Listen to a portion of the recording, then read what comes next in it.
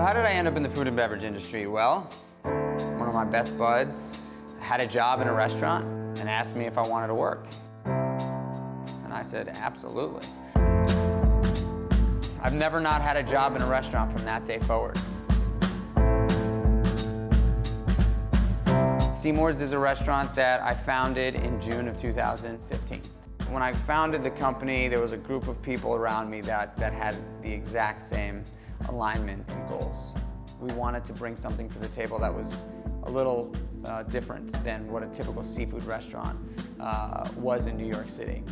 I grew up here in New York City, and on Sundays as a kid, I would get in a bus Sunday morning and dip out to Freeport or Captree, Long Island, hop on a party boat with other kids in my sports team, and we would go fishing every Sunday for years. We would pull up bluefish, blackfish, black sea bass, fluke, flounder, monkfish, skate, sea robin, blowfish, lane lingcod. I never saw them on menus in New York, and I was curious, and I wondered why. Most people in the industry think that I'm crazy because I don't sell bluefin tuna or because I don't sell farm Atlantic salmon. They think that I'm actually nuts. It's been an honor working with New York chefs that are very conscious about the choices they make and they want to make an impact. All the fish that we serve at Seamore's is local, 100% sustainable, and wild caught. And I wear that on my sleeve because I'm proud of it. We have to make sure that we're, we're choosing responsibly and not just the same fish over and over and over from the same place because it'll be overfished and then it'll be gone.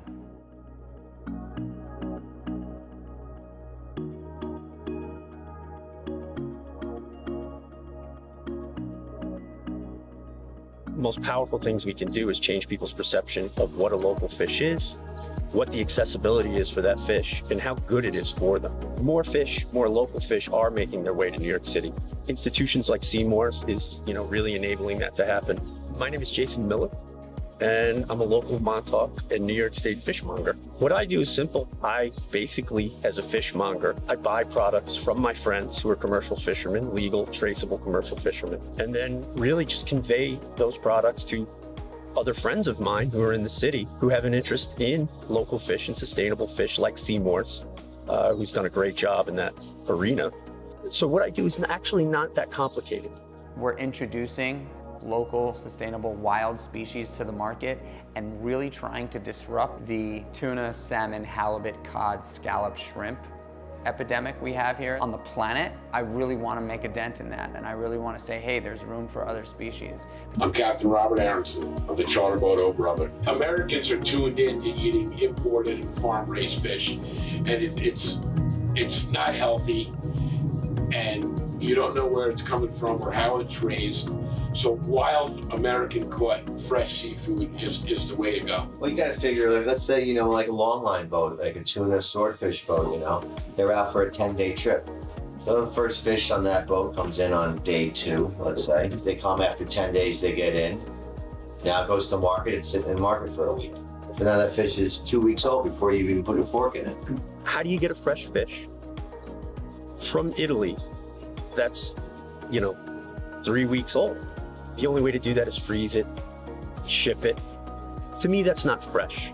That's something that's different than fresh. And that's the only way to, to get a high quality product. You, you have to take good care of it and handle it well. The one thing that people can really do to hop on this movement is to just care. And they just want to go and, and order something that tastes good. They want to order what's familiar, what, they, what they've been eating for their entire lives. We want people to care enough to ask questions. Call it sustainable, call it local, wild, or call it common sense.